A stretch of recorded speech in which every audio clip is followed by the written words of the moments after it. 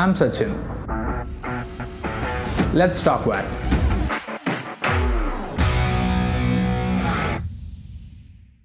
So VAT or value added tax is a transactional tax and an indirect tax as you may be aware which is charged incrementally on every stage of a supply be it a supply of or a production of a good or a supply of service the value whenever it gets added the tax is levied on that portion of value which is added to that supply on 12th of october 2020 vat regulation was released in oman uh, through a royal decree which mentioned that VAT will go live from April of 2021.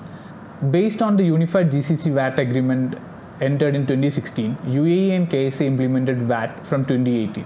Likewise, Bahrain followed the same tax regime in 2019. Now, on 12th of October 2020, the Sultanate of Oman has also released the VAT regulation, which will go live from April of 2021. As we saw in other GCC states, the tax rate is 5%, which we can consider very minimal in the whole tax regime. Unlike what we saw in KSA and UAE, there are slight differences when it comes to the VAT in Sultanate of Oman. For example, educational sector, which is considered as zero rated in UAE, is exempted when it comes to the Sultanate of Oman.